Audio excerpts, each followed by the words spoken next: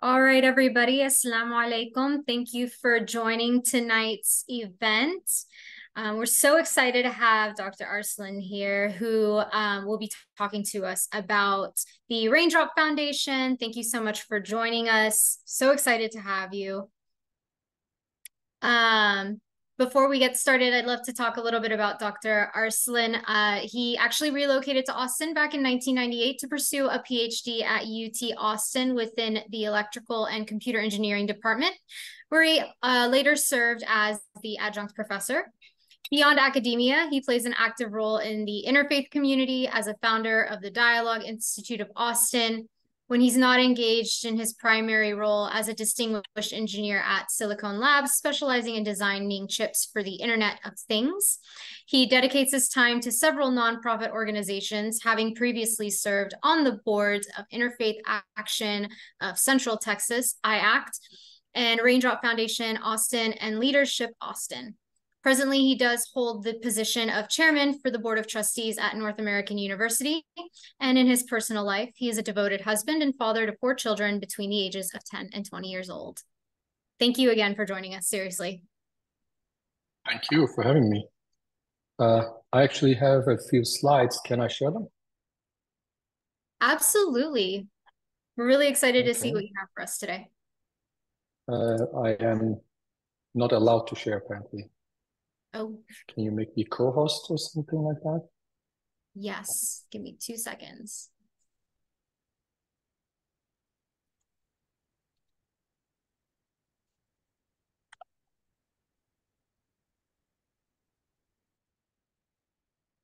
There we go.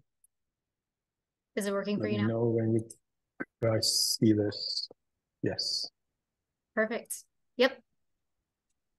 Is it up? It okay. is. So to start talking about uh, raindrop, or I'm going to talk about Hizmet, and I'm going to uh, explain what that means. So um, let's see. Is the Hizmet movement? That's the name of the group that uh, I belong to, and uh, Hizmet is just a Turkish word, uh, or actually an Arabic word that we pronounce this way, uh, meaning service. So the service movement, if you want to have it all in English. And uh, to tell you the story, uh, I'm going to go back to the beginning of the Republic. I, I promise it's not going to take 75 years, uh, but uh, I'm just going to summarize it in a couple minutes. So all we need to know is that when the Ottoman Empire collapses, the, the new Turkish Republic was founded by uh, by mostly soldiers from the Turk uh, from the Ottoman army who were all educated in France, and they come with this background of uh, the French model, which is uh, I don't like to use the word secular here, but that's the word that we have in English. So staunchly secular. Uh, in other words, the way they understood it was state-controlled religion, very nationalistic. Basically, it's all about Turks uh, after the collapse of the Ottoman Empire, which was multinational. And uh, this establishment is uh, almost anti-religious, if you want. Uh, they're blaming religion, uh, the backwardness of the country, the collapse of the empire, everything on on religion. So uh, early on, the, the, oppression comes to a point where Arabic is forbidden. There is no azan.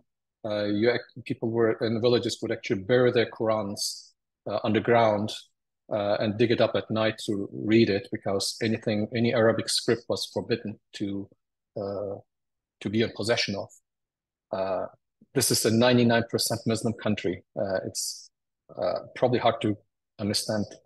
Uh, it's hard to understand for me at this point, but that was the rule. So at the end, where we, Turkey kind of ended up in kind of two parallel societies living in the same country but not really sharing much. The ruling elite, which rules everything. Uh, so the government, the military, the, the, the police, uh, the education system, uh, the economy, the media, uh, everything is controlled by the, these uh, by this ruling elite, and the rest of the people, the regular people, uh, mostly living in their villages, some in, in cities. Um, they are basically just uh, there. They don't participate in any of this and uh, are practically alienated. So the Anatolian Turks, Anatolia is the lar- larger, largest part of Turkey. It's uh, basically all the part in Asia on the Asian side is called Anatolia. So we call them the Anatolian Turks. The, the real heartland, heartland people uh, are basically not participating. And uh, this is kind of the situation of, of which, uh, uh, in which uh, in the 1970s, well, maybe I should take it backwards. let me go by slide. So that's kind of where we are with the Turkish Republic, and that's the situation in Turkey. And uh, during this time, and uh, Said Nursi is uh, probably still today the most influential Muslim theologian scholar uh, in Turkey, still to to this date, uh, who, who, died in the 60s and and 60 1960. So he lived through the uh, the the early Turkish Republic, late Ottoman Empire, saw World War One, World War Two, and during all this time, uh, especially towards the second half of his adult life, uh, he focused on altering what we today call the Risale Nur collection, uh, which which you can see behind me. This is this is it. Uh, it's a it's a series of books uh, and uh, it's a spiritual intellectual revival with the goal of uh, spiritual intellectual revival of Islam.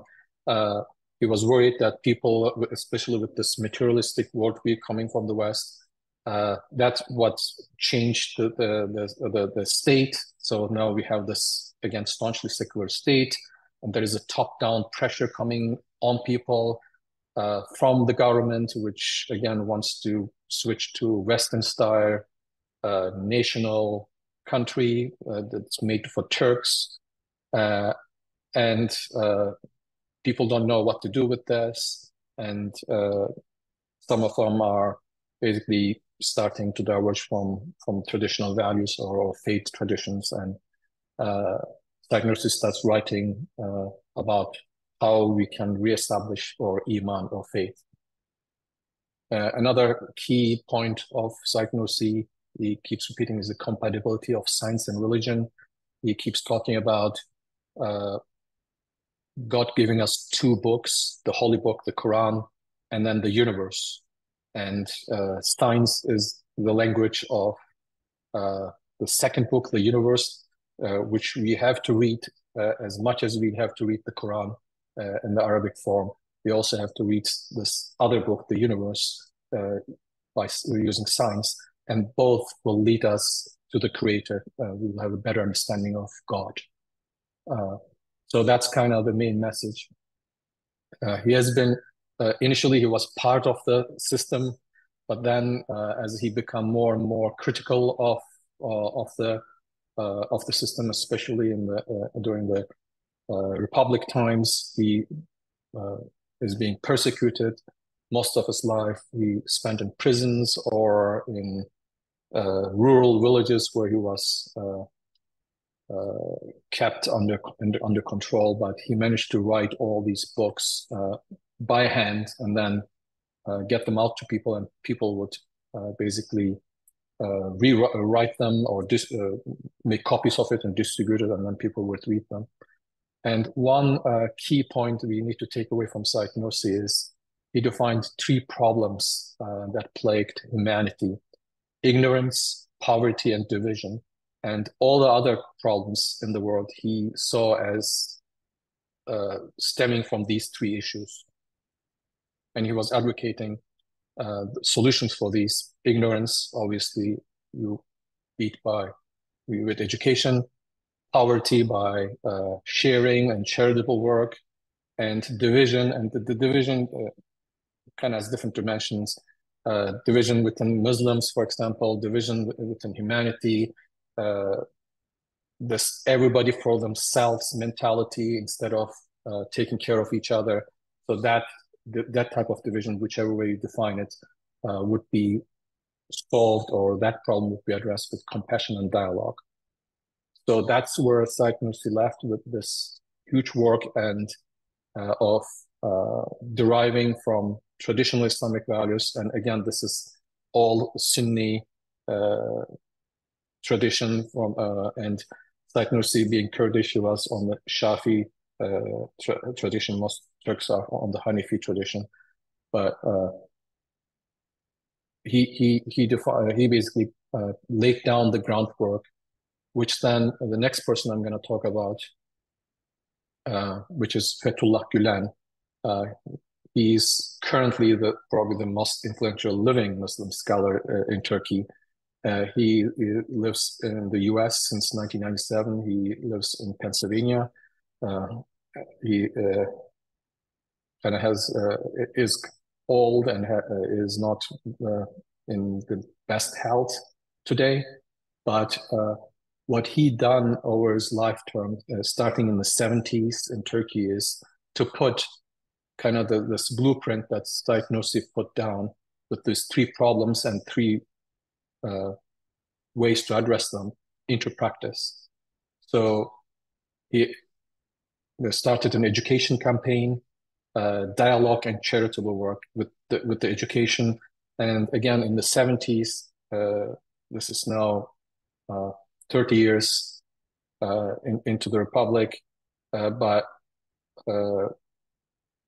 there's still lots of conflict. Pe people don't, again, the Anatolian people, they don't, don't trust the establishment. They don't participate in, in, in, the, in the government.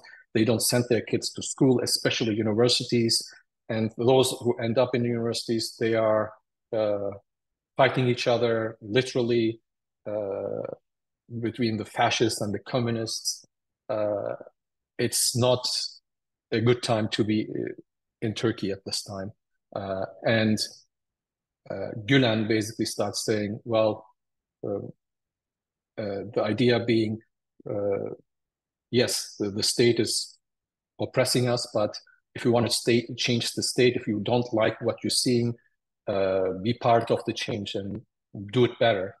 So he's uh, recruiting uh, more people from from the conservative backgrounds to actually go and uh, finish high school, get into universities, be educated, and uh, be part of the system and change the system from within, if you will. Uh, so the and uh, yeah, so the one of the ideas that uh, uh, he came up with, or based on mm, Said Nursi's thinking, is to come up with schools where we would educate balanced uh, individuals. He calls them two-winged uh, people who have not just one wing, might be religious education, or the other wing means secular scientific education, but both. Uh, if you have one you miss the other, you, you might understand uh, the religion, but you cannot participate in, in the world. And if you have the scientific knowledge, uh, but don't have the moral underpinning of, of a religious tradition, then you, uh, it's, it's not clear what you will use that power of, of that scientific knowledge and how you would use it. So he's uh, putting forward this idea that we need to establish schools where we can have both. And this doesn't mean uh, religious schools. Actually, the first schools he starts, uh, these are scientific schools and uh, teaching foreign language and uh, just regular curriculum. The, the main difference is that he's promoting these for people who don't consider themselves as part of the system and are afraid of sending their kids to schools because they are afraid that if I send my kid to school, uh, they will they will lose their faith or something like that. And uh, this uh, was accepted by the Turkish people very quickly. Lots of people started participating in this movement and uh, put money together, started popping, schools started popping up all over the place, and pretty quickly they became uh, the best schools wherever they, they, they started it.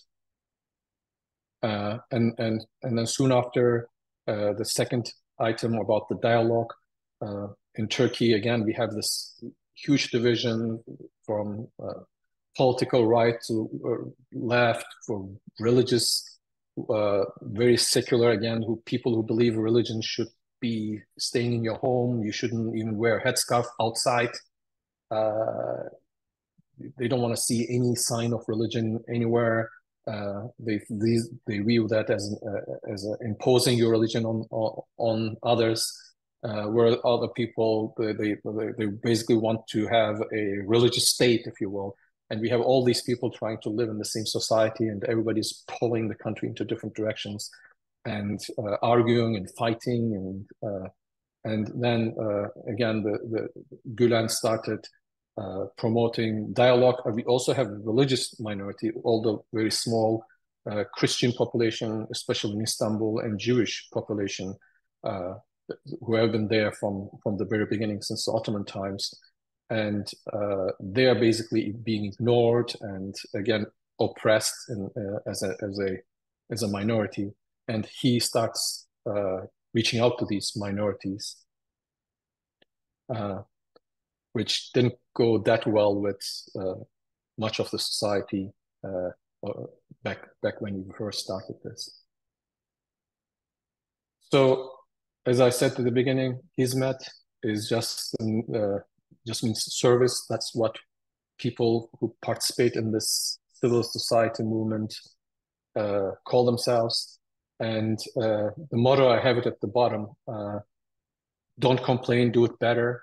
So people complaining about schools, not uh, kind of people uh, or their children losing their faith or uh, the school quality is low, then then build a better school and educate better.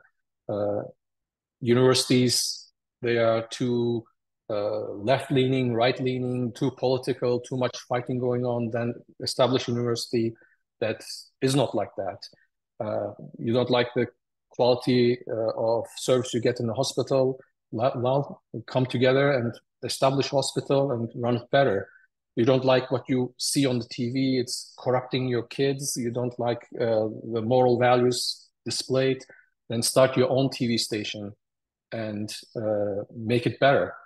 And uh, same thing for newspapers, charities, business associations, and uh, I mean, to this day, this uh, what what has been accomplished in Turkey uh, as the largest civil society initiative, and all these, uh, if you were in Turkey 20 years ago, go to any city and ask what are the three best schools, uh, one or two of them will be uh, schools that were started by Hizmet. Uh, hospitals, same way. The largest selling newspaper, daily newspaper, selling all over the country Zaman was established by by Hizmet. Uh, the largest selling English newspaper again was started by Hizmet. Uh, the largest uh, ch international charity uh, that was not sponsored by the government uh, was started by Hizmet, and you can basically just go down the list uh, and that's at, at one point it, it, basically doing everything and anything that people uh, come together and pool their money and their talent and uh, try to solve different problems of, of society. I have to do this with the mouse. So uh, this was all happening within Turkey. Uh, and what changed this and made the movement international was the collapse of the uh, of the Soviet Union. Uh, so, uh, if you are familiar with, uh, with Central Asian countries, uh, Turkmenistan, Uzbekistan, Kazakhstan, uh, Kyrgyzstan, all these countries, they are Turkic people. they like Turkmenistan; it's already in the name. Even other Azerbaijan is is speaking pretty much the same language as we speak. All the other ones are uh, kind of uh, long, uh, the relative of Turkish. It's very similar language, very similar culture. So uh, when when the system collapsed and all of a sudden there's no government there, anymore, uh, Gulen encouraged people to basically go there and start schools because uh, we have all this know-how now from from Turkey establishing really great schools, uh, who, and these schools, the education were at the highest level, uh, where the kids could just graduate from a high school in in a town in Turkey and go to the best universities anywhere in the world, and uh, and be successful there. So uh, he encouraged people to do so, and uh, amazingly, people did. Uh, people just left their families and got on a plane and went to a place that they never been before. Nothing there, and uh, they don't know what to do. They don't know whom to do it with, and it's not like they have uh, the backing of a state or something like that, where you have lots of money either. Uh, they just go there, and many many of them struggled there for years, but managed to start school here and there. Uh, and uh, once that once become clear that this does work actually, uh, where you can just send uh, a handful of people to a, a country that you don't know anybody in, but those people, really dedicated people, would work day and night, find some place to start a school convince people that they can do a good job in educating their kids and gain their trust and then get them to register to the to your school uh, and do this all with um, minimal uh, monetary su- support uh, it, it, it, it was just an amazing thing today there are schools that were started by the hizmet movement in 180 different countries uh, pretty much all over the world uh, in all continent uh, continents, maybe except Antarctica. Uh, and the, the, again, the idea is to Uh, serving people is serving God, and uh, education uh, and ignorance is our number one enemy, and the number one solution to that is education. and then again, this it's it's that it's a religiously motivated group uh, it stems from Islam. So when you hear Gulen speak, he's he's using uh, all of the religious context that this is a religious duty for for you to do. Your uh, and that's what motivated people to do all this, go to different places and uh, live there uh, for many decades and basically become part of that community and and uh, raise their own kids there. Uh, so that's what Hizmet uh, was about. And then the dialogue part, uh, it took a little more convincing than the education part. Uh, when you tell people, hey, we need education, uh, it, it, it, it, just registers quickly. But when you tell them, hey, uh, we need to reach out to religious minorities, or you need we need to be in uh, conversation with uh, people from other faith traditions, uh, especially when you live in a country like uh, where everybody everybody you meet is practically uh, pretty much a Muslim. That doesn't register as quickly. Uh, but then people who traveled to different places and all over the world, they started dialogue organizations, and that's how the Dialogue Institute here is basically part of that movement. Uh, and again, this is uh, there is also it's not just interfaith dialogue; it's a dialogue within society in Turkey, where uh, people who would normally not be in the same room came together, and uh, they managed to come up with common terms they uh, can agree on, and would sign declarations. So people who are fighting, literally fighting, would be in the same room si signing declarations that they can both agree on. Uh, and again, all this was uh, initiated by the Hizmet movement. Uh, that takes us to around 2016, uh, which was the peak of uh, the influence Hizmet had in Turkey. And if you uh, remember the 2016, there was a coup attempt, uh, if you can call that. Uh, and the very, I mean, pretty much the same night, uh, around 3 a.m., uh, the, the, the president came on TV and uh, declared this as a blessing from God. It's it's a coup attempt. It's somehow he declares this as a blessing of God. And the next morning, tens of thousands of people were fired from their government jobs, and uh, the government started arresting people. And pretty soon, Hizmet was declared uh, a terrorist organization, an armed terrorist organization, and that's still the case. Uh, and uh, still today, there are tens of thousands of people from the Hizmet movement in prison. And uh, the reason they are prison is is they're, they're ridiculous reasons, like uh, having the wrong messaging app on your phone, or having uh, a bank account at a uh, nationally approved, government-backed uh, bank that was started by the Hizmet movement, or being on the board of a charity, or providing aid to a charity, or uh, any any any relations you have with with the Hizmet movement, which was very hard not to have, uh, given that uh, Hizmet was so much involved in it. Uh, you would be basically associated with Hizmet and declared a terrorist.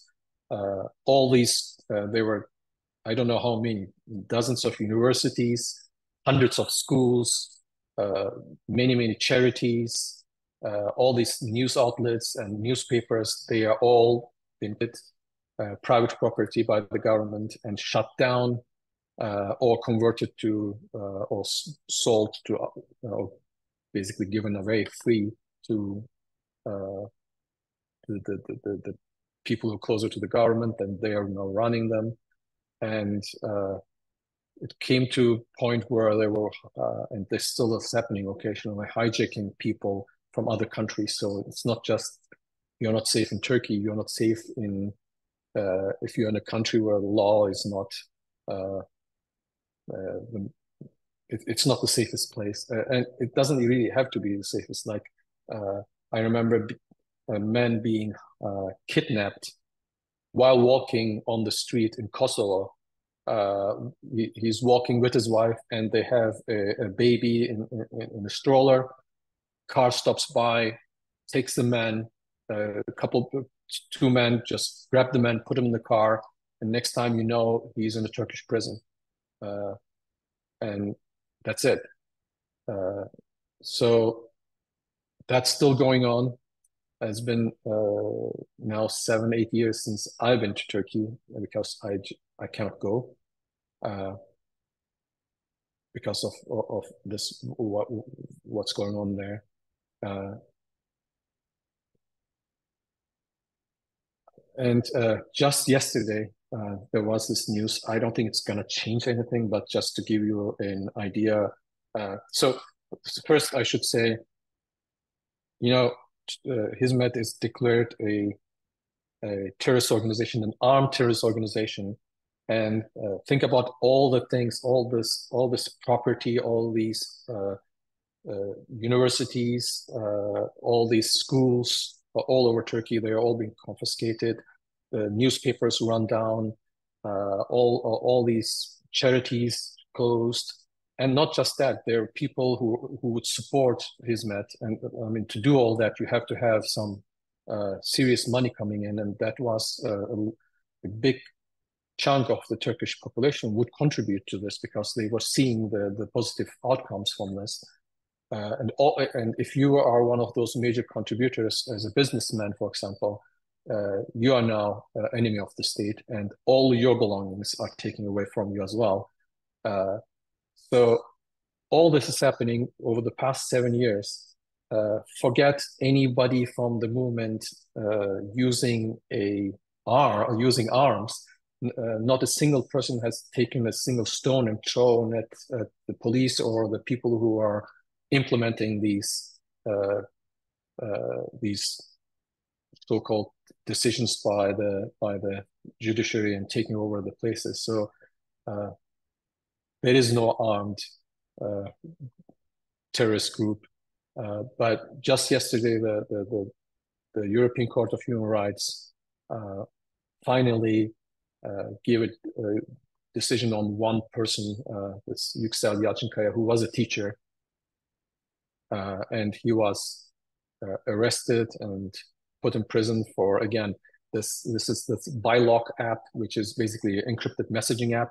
If you have that on your phone, you're automatically a criminal. Uh, doesn't matter. It's it's an app that it, that you can download from the App Store, uh, and anybody has it. That's or that's proof you will end up in prison. Uh, or if you if you have again a bank account uh, in the in the wrong bank, and uh, the, the European Court basically said, well, that doesn't make any sense. Uh, you cannot you cannot be convicted for being a part of a group just because you're supporting Hizmet doesn't mean you're a criminal. Uh, just because you have an app doesn't mean you are uh, you are a criminal or you committed a crime. So uh,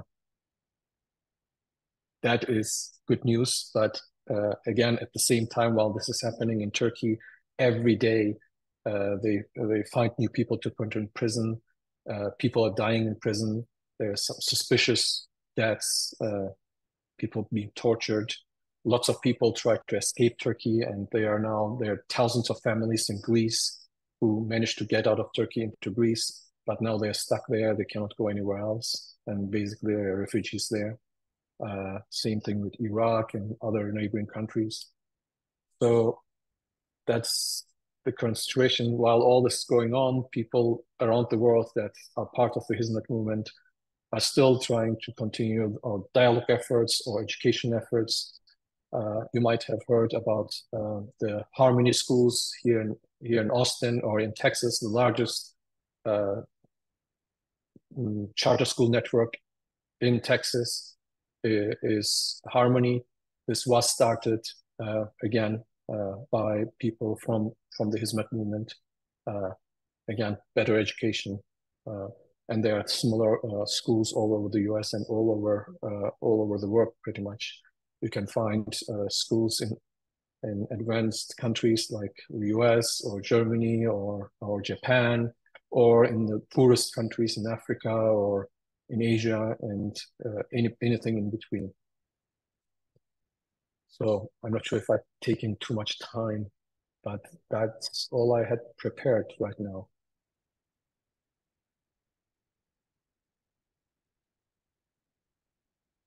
Did I put everybody to sleep? No, no, this was really, really insightful. Okay. Thank you so much. Uh, I was just looking for my mute button. I'm so sorry. Um, so for everybody that's new here, um, this is Inside Islam. So we like to utilize this platform as a way to showcase that you know Islam is diverse and inclusive, and whoever recites the kalima is Muslim and you know ultimately only allah can judge what is in people's hearts right?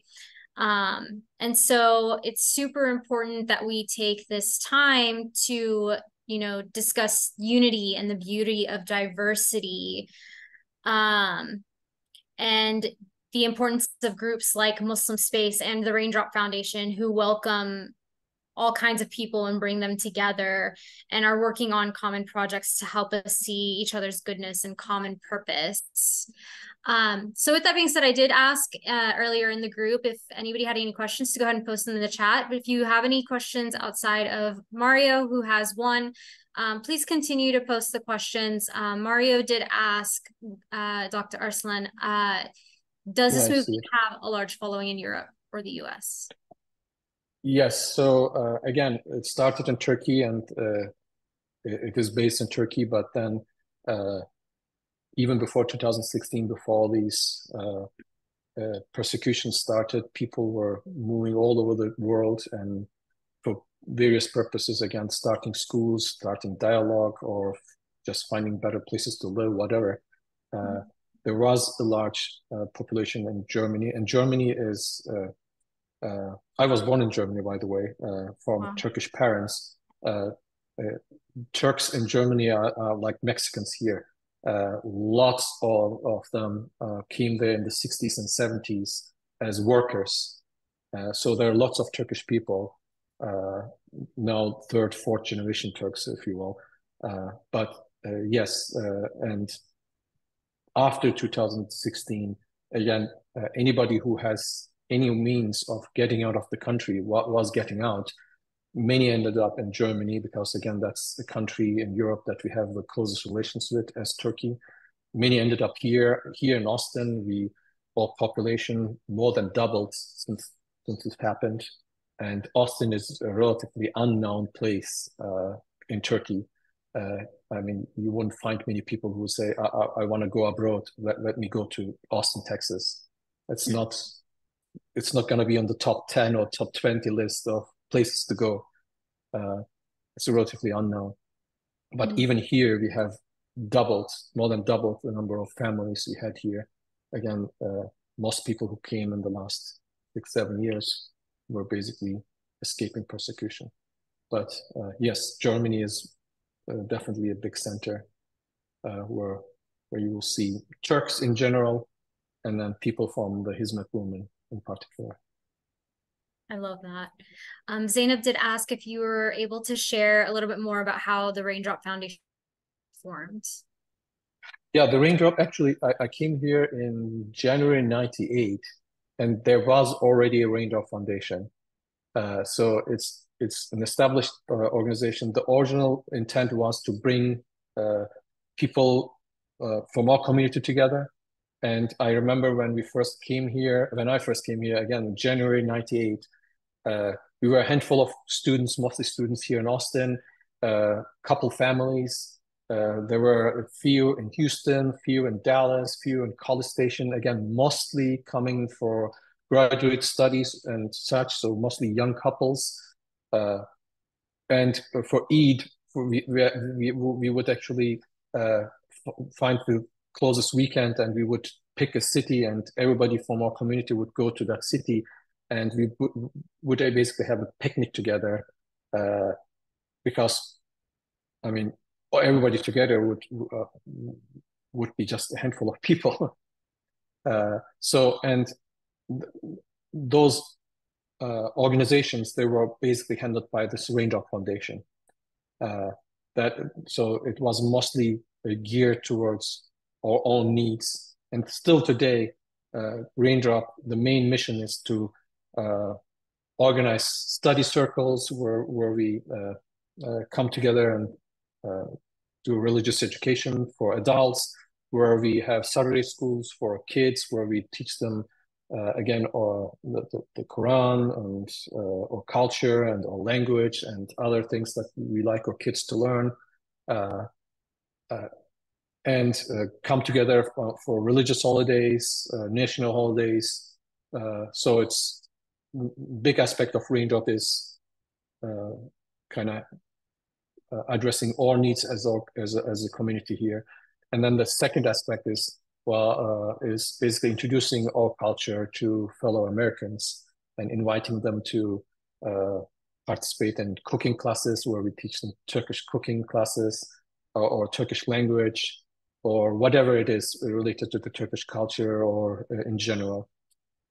So that's that's what the Raindrop is. Uh, uh, and all of that Raindrop, uh, right after the right after September 11th, we started the Dialogue Institute, which uh, which was gearing more about uh, towards interfaith dialogue. When we first founded it, it, it was called the Institute for Interfaith Dialogue. Uh, and we were actually doing interfaith dialogue before that because, as I mentioned, uh, interfaith dialogue is a key part of the of the teaching of Islam. And uh, the, the, the I, I, love the way you say it. Uh, diversity we believe diversity is intentional. It's it's not accidental. It's it's god's intent. And uh, uh, as as many verses in the quran say we, it, it's it's a test for us if we embrace it and can come together uh, and uh, kind of benefit from this beautiful diversity rather than see that as a, a, a as something negative uh, so we we embrace diversity and uh, we were doing dialogue on a smaller scale. We had, we still have it actually on UT campus. We have a dialogue student association, which does interfaith dialogue and similar organization all over the university campuses around Texas and neighboring states. but then September 11 happened, and we thought, well, this is in time to reach out to uh, everyone on a, on a bigger scale. So people from different cities came together. Uh, we already everybody was already on board with interfaith dialogue. There was not much convincing you needed to do, and we came together and started the Dialogue Institute, which was twenty something years ago, twenty one years ago now, and that's been going on uh, since then as well. That's incredible. Thank you so much for sharing that insight. Um, I wanted to ask, what are some of the projects and uh, like current things that Raindrop is focusing on for the rest of the year? Do you have anything that's happening, any events? Yes, uh, event-wise, uh, our next big event uh, is as a Dialogue Institute. We have our annual Friendship and Dialogue Dinner, which is coming up October 29th. Uh, hope to see some of you here there. Uh, uh, once we have, I think we will have a flyer out with email shortly, and I hope some of you are part of our mailing list. If not, you can get in touch with me and I can add you there. that's gonna be October 29th. We're trying to put together. We used to do these very nice large Turkish festivals. Uh, again, uh, the, the, this things going on in Turkey did affect us and it's still affecting us because, uh, again, lots of people are in prison and their families are in need. So we uh, try to support them from here as much as we can. And we are not talking about 100 families, 1,000 families. We are talking about tens of thousands of families uh, who are in dire need. And uh, they are basically uh, they're not allowed to work. People who are in prison, they are already in prison. People are outside. They nobody would give them work because then the government would come after you. It, it's at a point where if you take one bag of groceries and take it to your neighbor who who you know is associated with Hizmet, the next day police will come to your door and will take you for aiding terrorists. Uh, so again, we are trying to uh, do our best to support uh, people in Turkey that obviously has an effect on things we can do. And we have not done a proper Turkish festival in many years, but we are uh, working on uh, bringing it back again. Uh, and we, uh, I don't know if you know uh, how many of you know, but we used to have a center at uh, Palmer Lane in Mopac, which we closed right at the beginning of the pandemic, and now we have a new center up in North in, in Round Rock, uh, so we'll be discussing whether we should do it there or find a more central location and do it there. So that's uh, coming up. Uh, hopefully, once we have it figured out, I'll, we'll let you guys know. Thank you so much. And do you have a link or anything that you can share in the chat so that anyone could look up the event that's coming up and um, and I'm so sorry about all the things that are happening in Istanbul. Yeah. It's, it's, really unfortunate. It's it is really sad, Zainab, correct? Yeah, to learn about this sort of persecution that's happening. Um, thank you for sharing this kind of like information with us. It's definitely important to know. Oh, thank you. Thank you for reaching out to me and uh, can I can I ask a question? Yes, of course. Sure. Okay, uh, I was wondering, where is this uh, raindrop you're talking about? Uh, Round Rock, it's uh, no, no, on Gattis no. School Road. Ra- raindrop, you were talking about some little while ago? The Raindrop Foundation? What, what yeah. are you talking about? Uh, yes. The Raindrop Where, Foundation, it's yes. based here uh, in Round Rock. Round Rock, okay. Uh, and yeah. also, I'm very happy to say that my grandson is going to the Harmony School. nice. any idea. All, all my kids, all my kids go to the yeah. Harmony School. Which one? Yeah, Which one is he going to? Uh, the, the one in Cedar Park. Cedar Park. Okay. Yeah. Yeah. Yeah. Um, uh, my mine. Uh, I have. Uh, I had four. Now I have three kids. One graduated uh, here at the uh, School of Endeavor on six twenty. Uh, That's the yeah. one my kids go to. Yeah, six twenty. That's where Cedar Park. Yeah, that's where that's where uh, uh, he goes to. Oh, okay, yeah, yeah, yeah. same school. Then I, I'll have something to tell him about. yeah. very, very good, very, very nice presentation. I really enjoyed it. And when you started out, you. I was so happy. Oh my God, somebody's doing all this, this. And, and then all of a sudden, the whole thing changed. we are still doing it. That's the amazing part about I it. know, but I am mean, sorry uh, for all the people, families. Or, or yeah. families and friends we are being persecuted and uh, put, yeah. put in prison and uh, people still here organize annual friendship and dialogue dinners, uh, which I find uh, amazing. I mean, I'm just uh, yes, in awe of this community to yes. come together and spend all this effort for dialogue. Yes. So it's not we, we it's not something that oh yeah it's nice to do let's do it. It's something that you do even when you have a knife to your throat. It's that important to us. Yes, uh, my, and my, we literally be... have a knife to our throat. Uh, I will be praying for all of you. And I would like to have a little Inshallah. bit more uh, information on the raindrop. Okay? Okay. Sure. Yeah. Thank you so much. Jazakallah. I'll, I'll share. Thank okay. you. Yes. Jazakallah. Thank you, Nasreen. Uh, Zainab, you have a question? Yeah, more so of a comment. I just wanted to express my gratitude to Dr. Arsalan for at short notice giving us this wonderful presentation. Just wanted to say that I've been um, attending Raindrop events for almost, it seems like 10 years now, and I have uh, found them to be the most generous, kind, welcoming, caring people that I have ever met. Always including others, always always focused on education, on learning, on making things better. So I really like what you said about the motto of Hizmet is that don't complain, make it better. I feel like we should write that on our walls. So thank you so much for doing the hard work that you do. And I really appreciate everything that you're doing. Thank you so much. Only with the support of people like you. Thank you, Zainab. Is there any other questions? Anybody else want to pop on and ask anything?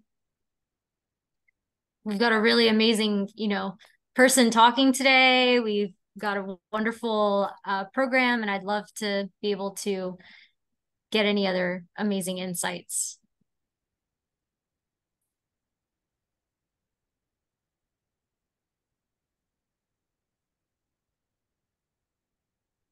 Uh, while people are thinking, I can mention uh, what we do. Uh, one of the most uh, uh, important times of the year for us, as for many Muslims, is Ramadan. And just being a Muslim in Ramadan is already busy. All the all the preparation for iftar and then Tarawih and then the next day get up at night. Uh, but we managed to include this in, in in our dialogue efforts as well. Uh, what we do in Ramadan, um, if you're not familiar, we we reach out to churches and synagogues and temples and tell them we like to break our fast. Uh, at your place with your community.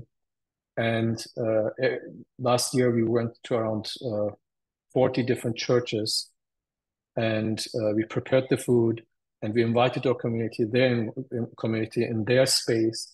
And when it's time at eight something, eight eight thirty p.m., we do a little uh, we, we do a little presentation about Ramadan and uh, what fasting is about, what it means for us, uh, and then we do a call to prayer, and then uh, we break our fast with fellow Christians in a church. Uh, and this is for many people the first time they learn about fasting or Ramadan. Not for some people the first time to meet or sit down with, with a Muslim. And uh, again, uh, this was a big thing we were doing before the pandemic, and uh, Alhamdulillah, now we ramped it back up to pre pandemic levels. But this Ramadan, this next Ramadan, hopefully we will uh, reach out to even more places. And uh, I would love to see more people from from this community join us there as well. Uh, we generally ask for for a room where we can do the uh, Maghrib prayer together uh, right after we break our fast together, uh, and then we try to catch the next next Tarawih prayer prayer at, at whichever mosque we, we like to go to. I'm sure that we would love to get more information on it and be able to join. This sounds absolutely lovely. I'll I'll uh, get you the link. Uh, I think probably the best uh, one would be the Facebook page and or dialogue website. Uh, I'll get it to you and we can distribute it to everyone. 100%. That would be phenomenal. Are there any other questions or any other comments anyone wants to say? I guess I just had one thought is that is um, dialogue and raindrop kind of used interchangeably or dialogue is more the um, the side that is focused on actual dialogue and raindrop is focused on the other cultural and social educational events? Yeah. So the history is like uh, like this. Raindrop was again uh, a cultural organization or community organization that we that was started before i came here. I just continued and uh, this was one organization one nonprofit based in houston. And then we had chapters in all the different places including austin. We were basically acting as a chapter of this uh, organization, nonprofit organization that's based in Houston. Uh, and then uh, the Dialogue Institute came to be. Again, we started it here in Austin, and then pretty quickly moved the headquarters to Houston because there were just more people there who could help with it. Uh, and then again, it was one organization, the Institute of Interfaith Dialogue, with chapters all over uh, Texas and neighboring states. Uh, but then uh, today, it, with with the growth, and we have now people in different cities who can take care of it. So uh, every city now has their own or separate organizations. Uh, in Austin, we have one nonprofit, and we are using those two names uh, as DBAs, doing business as. It's like our brand. Uh, so uh, we have one nonprofit, uh, 501c3 organization, but the two brands we are using is Raindrop and Dialogue Institute so when you donate money to one, it's it's the same as donating to the other. Although when you donate to Raindrop, we use it for cultural side. If you donate to Dialogue, we use it for dialogue side. So we try to keep it kind of in separate. Uh, the dialogue is more for dialogue events, for uh, outreach events and such. And Raindrop we mostly use for Turkish cultural uh, events. But we are the same group it's the same organization it's the same board it's the same people doing everything so you can use it interchangeably and this happens all the time Who, whichever organization you're first exposed to people tend to use that so we we organize an event under the dialogue umbrella but uh, we invite somebody to speak and they talk about raindrop because that's what they know or the other way around so it doesn't really matter at this point it's the same organization Thank you so much for explaining. No problem. Thanks for asking. All right. Well, thank you so much again, Dr. Arslan, for, you know, coming onto our Inside Islam um, little event here and sharing all this information. It's been such a pleasure, and I really appreciate all the info that you shared today we're looking forward to seeing you hopefully in the future for some of our own events as well and to see you at some of yours. Thank you so much. I am following you on your mailing list and love the things that Muslim Space is doing from from day one. And yeah, let's keep the work up. There is lots of work that needs to be done by uh, by by us by Muslims mm -hmm. uh, to show the true face of uh, Islam to everyone uh, especially here in Texas. Uh, it's it's on us, not on them. A hundred percent. I completely agree. Completely. All right. Well, with that being said, guys, we'll go ahead and uh, end this meeting. But thank you again for anyone and everyone who did join with us today. And, and thank you again, Dr. Arslan. Seriously, it's been, it's been a pleasure. Thank you. All right. Assalamu alaikum. Wa alaikum assalam.